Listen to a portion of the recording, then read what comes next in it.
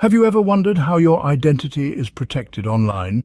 Well, it's a fascinating journey of complex systems and procedures working together to make sure you're the only one who's you. First off, there's an entity, which is any real-life person or thing. It's like you, your pet, or even your computer. Each entity has an identity, which is a collection of properties or attributes that correspond to it. Identities must be unique, much like how every character in Lord of the Rings has unique traits that set them apart. Next, we have identity management, also known as identity and access management. Imagine this as a grand council, like the one in the elven city of Rivendell, deciding who gets access to what. It's a framework made up of policies and related technologies that ensure users and computers have the necessary access to technology resources. This leads us to the identity lifecycle, a procedure that defines the identity within an organization beginning with creation, following with access and activity, and ending with termination or decommission. Think of it as the journey of Frodo from the Shire to the Mount Doom and back.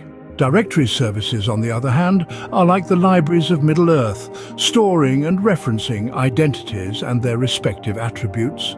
Examples include OpenLDAP and Microsoft Active Directory, which can be used to authenticate users to multiple resources. Now, imagine a grand alliance, like the one formed to fight Sauron. That's what Federation in cybersecurity is. It's the linking of identities and attributes across multiple identity management systems by the establishment of trust relationships between the parties. Single sign-on, or SSO, is the process of providing authentication across multiple accounts using federated identities.